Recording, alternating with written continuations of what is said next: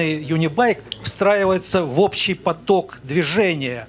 Если расто- э, временное расстояние между э, транспортом, вы говорили, 20 секунд, и как же будет э, происходить вход и выход пассажиров за такое короткое время?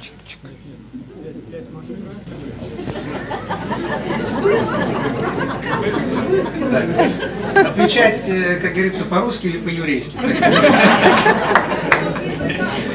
Я почему несколько так утрированно говорю эти вещи, потому что э, ну вот я телефон свой положил, э, вот как бы вы посмотрели на то, что сегодня вот смартфон, который у каждого в руках, он передает у каждого сейчас за час информации больше, чем вся московская городская телефонная сеть в 90-м году за год. Вас это не смущает?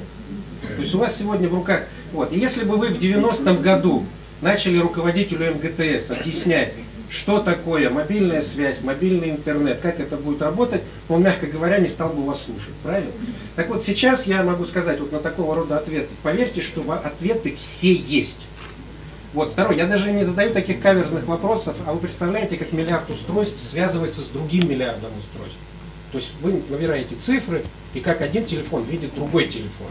То есть сегодня я думаю, что мало людей в зале, которые могут ответить с точки зрения физики, как это происходит. Я уж не говорю, а, кто сможет сейчас объяснить, как летает самолет, не, не- не махая крыльями, понимаете? Это вообще вопрос. Я это к чему говорю? Что технически все ответы есть. И в экотехнопарке мы для того его устроим, чтобы вы это увидели.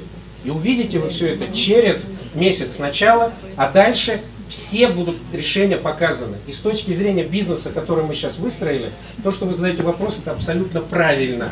Потому что будет дальше утверждение, что вот станция, 50 миллионов пассажиров пересадка в год. Никто не обращает внимания, что это в два с половиной раза больше, чем Дубайский аэропорт. Значит, а те, кто обращает внимание, как эксперты, которые, Виктор, проходили в экспертном совете Минтранса, они говорят, этого не может быть. Вот это хорошая постановка задачи. Раз не может быть, приходите увидите. Значит, может.